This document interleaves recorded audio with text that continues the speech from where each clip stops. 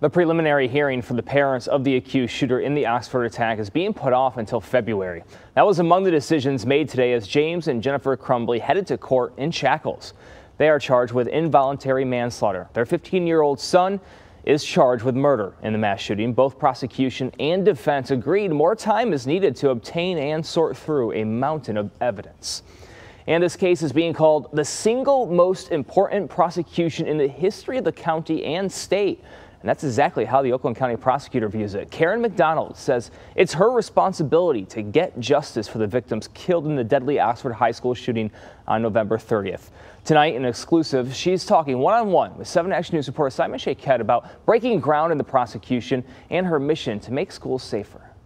Prosecutor Karen McDonald says her decisions in the case of the deadly Oxford High School shooting are not only meant to get accountability, but also drive change and lead to safer schools. Discussing the mass shooting on November 30th at Oxford High School that resulted in the deaths of four students and others being injured, Oakland County Prosecutor Karen McDonald is opening up about taking bold action in her criminal prosecution. She says charging 15 year old Ethan Crumbley with terrorism, four counts of premeditated murder, and more charges of assault with intent to murder simply were not enough when considering his parents, Jennifer and James, bought him a gun but failed to disclose it to counselors in a meeting the morning of the tragedy. Was it criminal at that meeting that morning at the school when the parents failed to mention that Ethan had access to a gun when he was drawing those disturbing drawings. Certainly, that's one big um, event that that um, landed on the side of they absolutely are criminally culpable.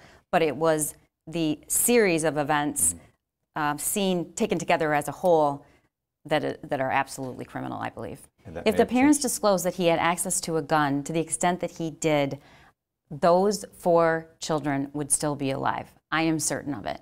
It is absolutely not just a failure to secure a firearm purchased for that individual with access to it. McDonald says furthermore, she supports the concept of tougher rules pertaining to responsible storage of guns, not to be confused with being against gun ownership. And by taking the step of charging the Crumbleys, she hopes more parents will consider how they store their guns. I hope this absolutely never happens again. I hope Nobody ever has to look at a parent's face after they've lost a child because they went to school. McDonald tells us she personally toured the crime scene, met with family of the victims, and recalls their conversations being among the most difficult she's ever had.